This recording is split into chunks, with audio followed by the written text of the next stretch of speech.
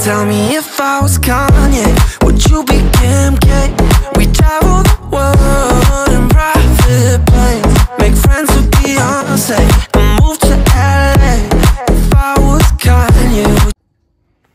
Hey, Candy from Blessed Life. As you can tell from the title, this is all about the new Kardashian show on Hulu and some things that I kind of found out after watching it. I kind of have become a little bit obsessed with Khloe Kardashian, her exercises, how she, I didn't know that she'd lost all this weight. Evidently, she's had a miracle makeover. She's lost a lot of weight. She's changed her lifestyle. I think um, she looks absolutely fabulous. And I think that I was really impressed with her in particular in the new Hulu series. I think that if one thing they did right this time is it's obvious they took control of the show and a lot of the storylines, a lot of the fighting and drama and that was like so fake.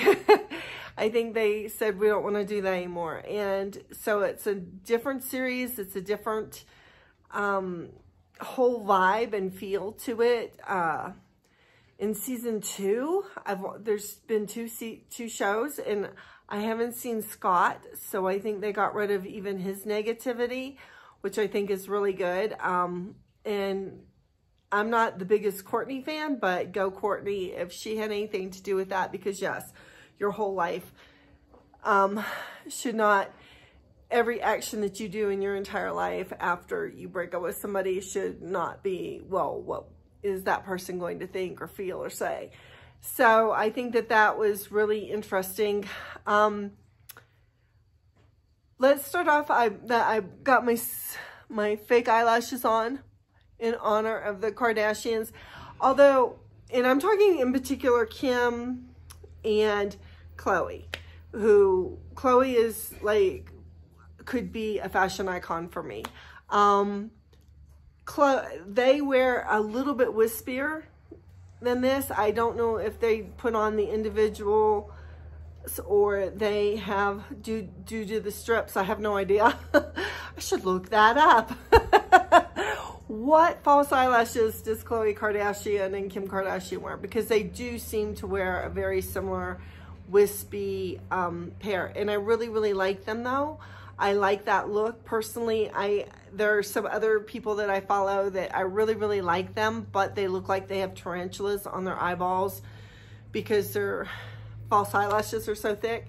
So um, I kind of like that wispier look. I think it's, I don't know. I just like it. For me, I think it's a good look. So I'm wearing that and I'm wearing makeup.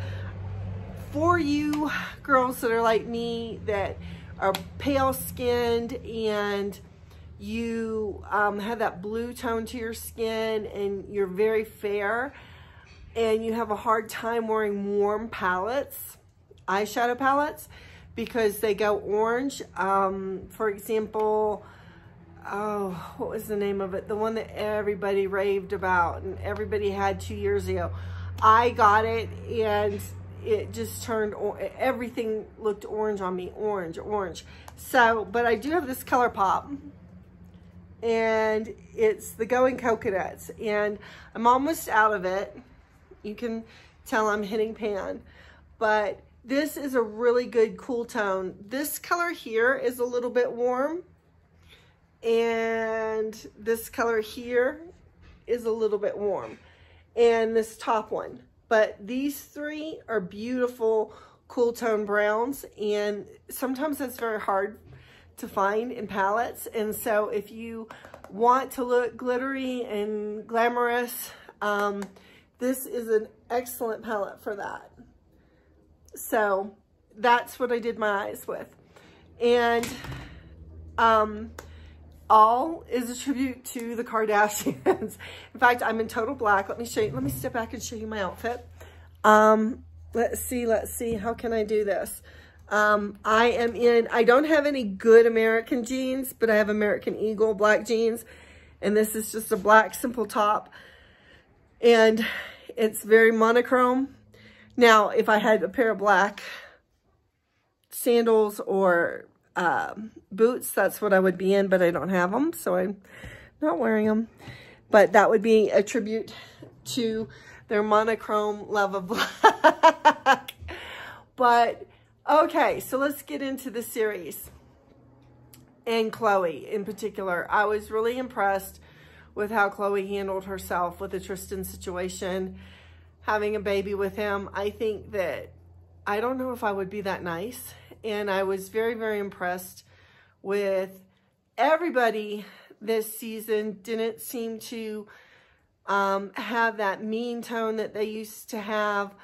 Kind of makes me wonder why Robert, especially now in season two, seeing what season one was like, hasn't wanted to show up or isn't showing up.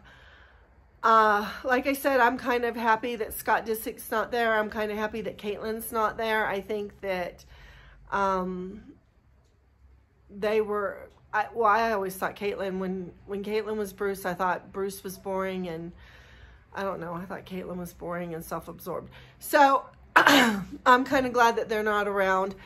Uh, I hope that Jonathan Cheban isn't around so much. I saw him a little bit. I don't like him. And um, I'm not like, I haven't watched every season of Keeping Up with the Kardashians, every single um, show. I don't, like I said, I had, I had no idea that Khloe looked so fabulous until I tuned in. I thought that she absolutely picked the most perfect dress for season two for their pictures when they're all in black. And she's got this lace um, skin tone dress. And it just, especially compared to the rest of them, I just thought, wow, she really is um, bringing her A game there. And I think that it was very interesting. I do think that there was some fake drama. I think that, of course, they started the show with what's the new, um,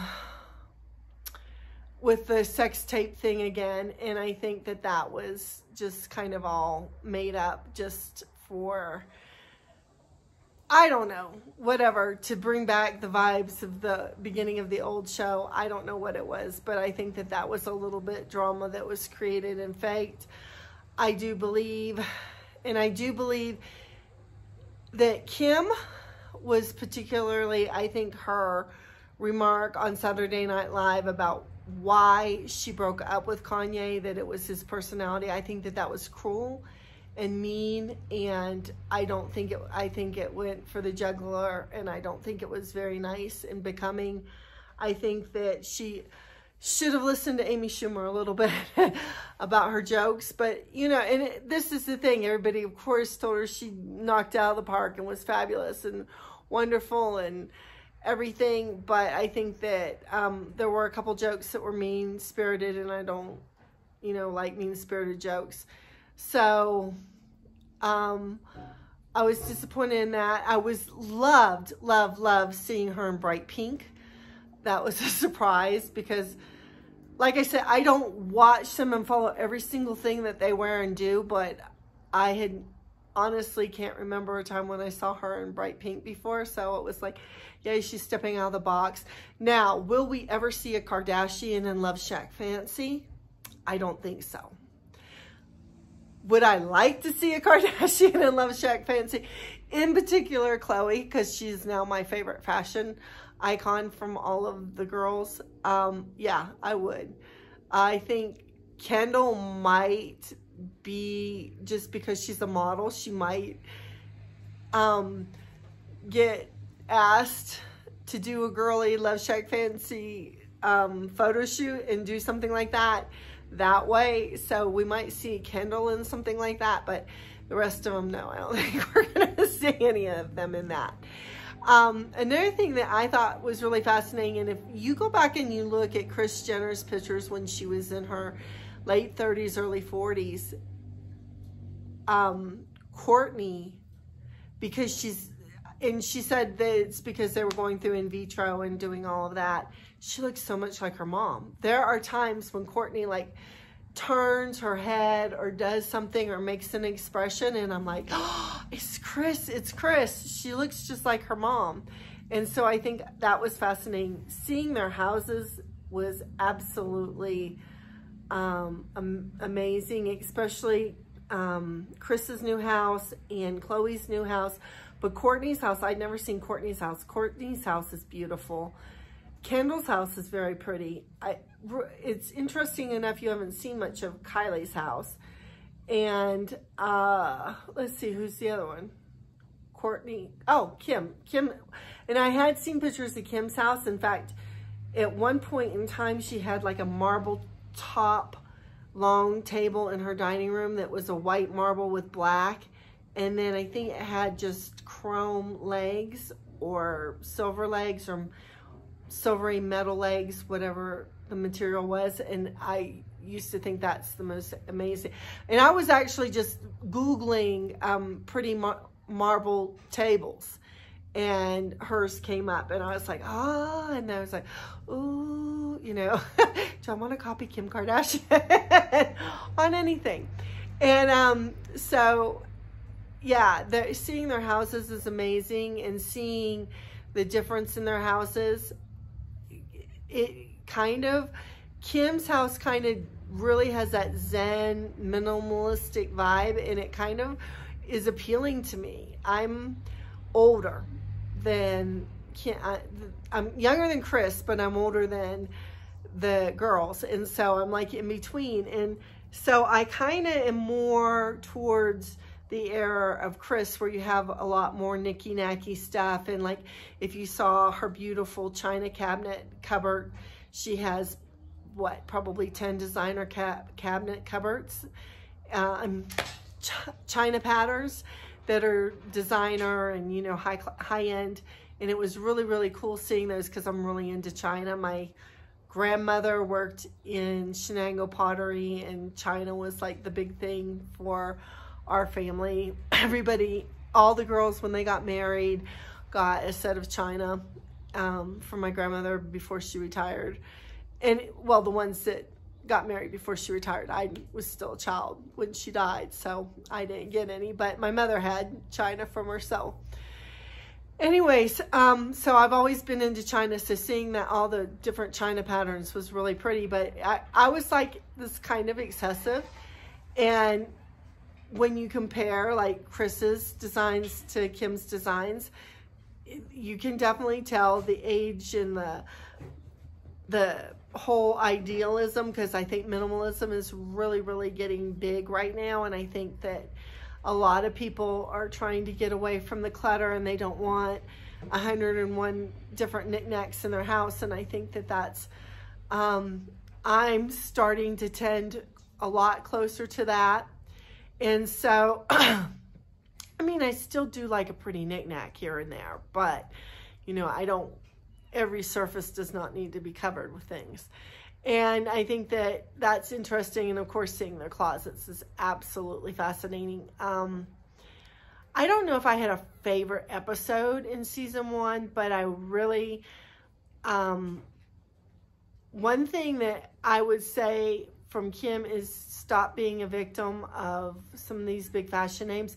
Just because somebody, a fashion name is famous, if they make something butt ugly, it's butt ugly, and don't put it on. When I saw the Vogue shoot that she, in some of the clothes that she was putting on, and they were listing off the names, I'm like, I, I, I really don't care what name it is. It's ugly. it's ugly, Kim. Don't wear it. Don't put it on. You had you had an opportunity to pick anything you wanted, you know, in the Vogue Hall of fashion closet. And, you know, from Carrie, we all know that that's uh, every girl's dream. And I, I just think that everything was really modern. I do get that they wanted to pick a modern thing, but like when she was on top of that car and she had that ugly, huge, gigantic hat on, it just, I mean, it was like, Kim, no, no, pick something pretty. So, and then there was also when Prada sent her stuff, I don't know. I, I've never seen Prada clothes. I've only seen Prada shoes and bags before. So, you know, but those jackets and stuff, they were hideous. And, you know, you've got, you've got all the money in the world and you've got every designer at your disposal. And if somebody sends you something hideous, don't wear it. Just don't wear it. Say no. Um, And so I think that that is something that, you know, even nowadays it can translate down to normal women that just because, and you see this in the Instagram and all the influencers and stuff like that, just because they say it looks good or just because they put it on because they got paid to put it on doesn't mean you have to put it on if it's ugly. So don't do it. Don't just say no to the ugly clothes. Okay, so that was my thing. And then also the last thing, season two, the first one was really weird because, you know, Khloe explained everything about no, she's she has this kid by um, in vitro with um, a surrogate to, so that's why you, people never saw her pregnant, but she had this second kid with Tristan. He talked her into it, probably, you know, trying to um, get her more committed to him. And then, and I don't even, I'm, this is how totally out of the loop I am. I don't even know if they're, if she's gotten back with him since they had the second kid together or she's dating somebody else. Um, so you can fill me in on that. But I thought it was really weird that they did that one and then they go back six months to when Kylie has a baby instead of just putting everything in order. I think it was a little bit confusing, um, especially for people like me that don't watch every single thing on and about them. But I think that you do get to see um, some interesting views of their lives. And I think that it's interesting and you can learn a lot. You can really, really learn a lot about like they don't let haters stop them. They don't let anybody stop them. If if when their show started, however many years ago it started, um, if they had let people stop them every time somebody said something bad, they stopped doing whatever it was that they were getting complaints about, they wouldn't be where they are today. And I think that whatever can be said about them, and I know that they've done some shady things. I know that um, or they've been accused of doing some shady things. Kylie was accused of um, falsely stating how much she was worth to get on some TV shows, stuff like that, or get on some magazine or something like that. And I, I know that there's been some things that um, they did that probably is not the best things that maybe a person should or would do to get where they're going. But at the same time, they don't let things stop them. And I think that that's important when negative things happen in our lives. I know that I'm um, more a person that I have let a lot of negative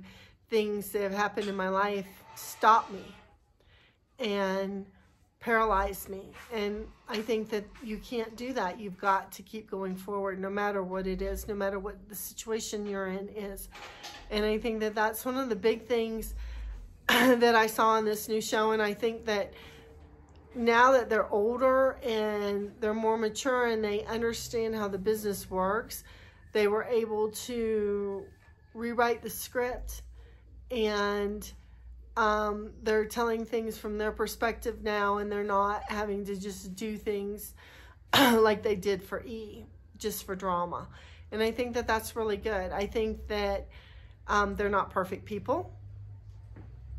Uh, they're going to keep making mistakes. There's still going to be things in the tabloids and there's going to be more scandals, I think, more weddings and more divorces maybe even, hopefully not. But I think that you're definitely going to see a lot more um, of them and I don't think that they're going to go away anytime soon. So, but I'm very, very impressed with Khloe. She's become my number one Kardashian. I never had a number one Kardashian before, so this is kind of like a first.